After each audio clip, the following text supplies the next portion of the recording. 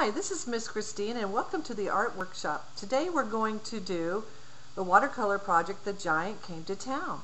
So uh, let's begin by drawing, this is my paper, I'm on a grease board right now. I'm going to divide my paper into four squares, one vertical square, one horizontal square. I number my squares one, two, three, and four. All right, now I'm going to draw the Dallas skyline. So I took some pictures from photostock.com and got a picture of the Dallas skyline that kind of gives you all the, the uh, landmark features.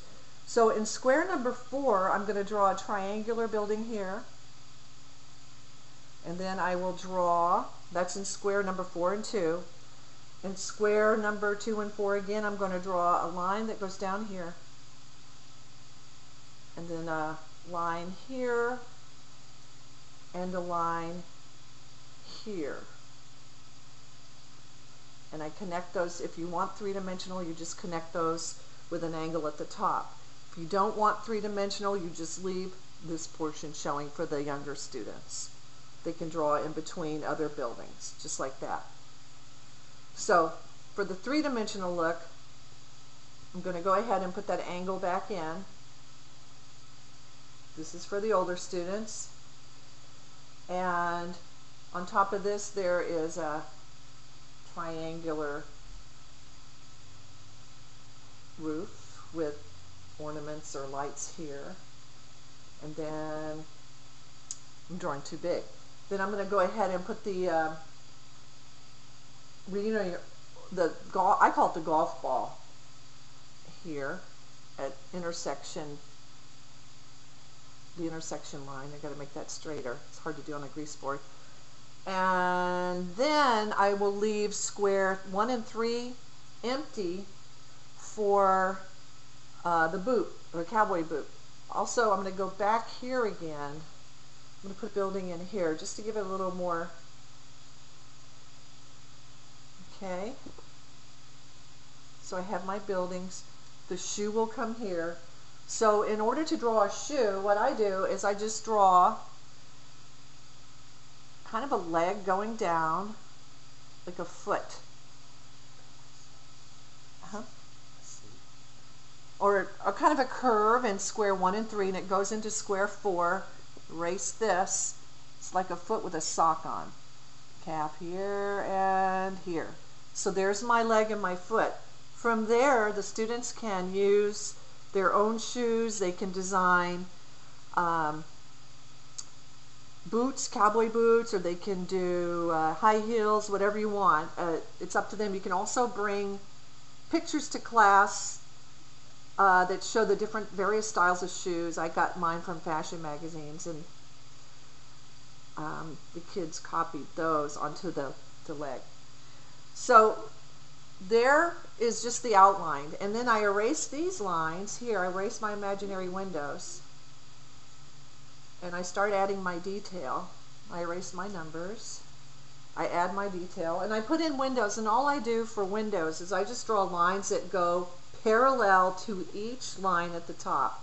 This is parallel. And I just draw a line like this for windows because I'm in a hurry angle off these lines if you're doing three-dimensional so they run with the top there the roof. There you go. And then there's a 3D here. And if you have room for another building back here, you can put one. It's up to you. Um, I put circles for this, smaller than what I'm drawing here because I have a big grease board marker. And so there's the basic drawing. Then we design the boot. Now if you're doing the cowboy boot, all you do is you're just going to go up and down. You're going to make this line here, make a parallel line here, angle out like this. I'm going to go off the board again. I'm going to have my boot here.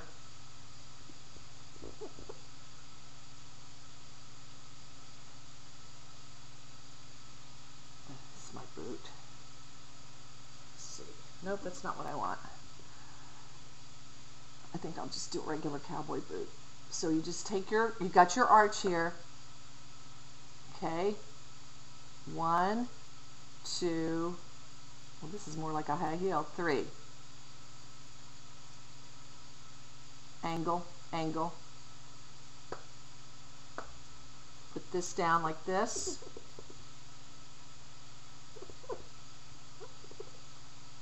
Make the boot wider by angling back more. Then put an outer shape to the boot so that it looks like a boot. Put a seam in and put a yoke in here, blah, blah, blah. You can put designs on it, whatever you want. It can be any kind of shoe you want. There's a boot. If you want to do a high heel, you would take that same arch, leg, heel, up, put the arch way up,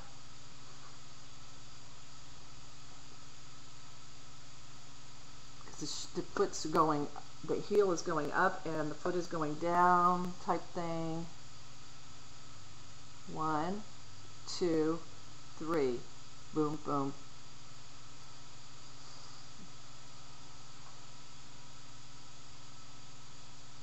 You just design it any way you want. If you want to do sneakers, you would keep the arch lower, like a foot just standing on the floor with a sock on. This board is bent, so it's hard for me to... So there's my sock. So with a sneaker, you would, if the students are doing their shoes and they usually wear sneakers, you would put a pant leg here, right? Put your pant legs in there. And then you put your sneaker here with the sole like that. Little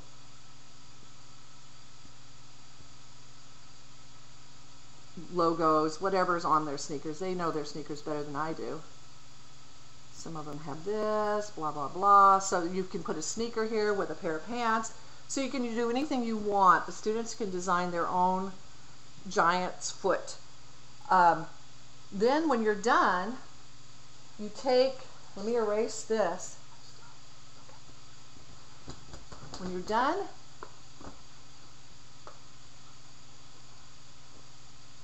you outline your picture on watercolor paper, and then next we're going to paint.